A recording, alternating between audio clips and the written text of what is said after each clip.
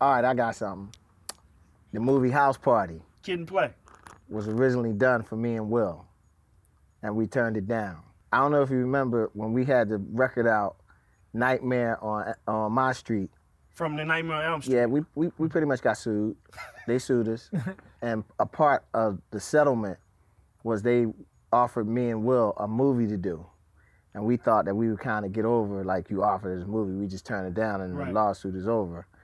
And the movie was House Party. Because if you, th- if you think about the premise of House Party, one of the guys was a DJ and one of the guys was a rapper. So, Y'all you know, turned down House Party. pretty much. It, it was a great move for Will, yeah, true. you know. I So you were supposed to be Bilal. You were supposed to be Martin's I, character. I was somebody. the DJ. I was somebody. Don't bump the table. I'm trying to mix. Damn, I never knew that. Yeah, yeah. I mean, if well, if you knew that, then You I wouldn't wouldn't be be- here. Here's a little story that must be told. And it goes a little something like this.